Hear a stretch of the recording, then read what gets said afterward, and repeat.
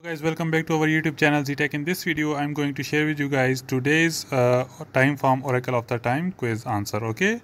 So let's click on the earn section and here you can see that in the middle of these three oracle of the time is available right now. So the question of the day is when did the first major cross-chain protocol polkadot officially launch its mainnet okay?